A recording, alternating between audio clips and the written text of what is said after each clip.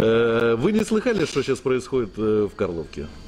Чув, ну е, знаєте, присутність там е, видатного е, правозахисника е, Черніченка мене вже насторожує настільки, що я навіть, е, бо він там уже кунувся і е, свої е, руки тут там бовтає.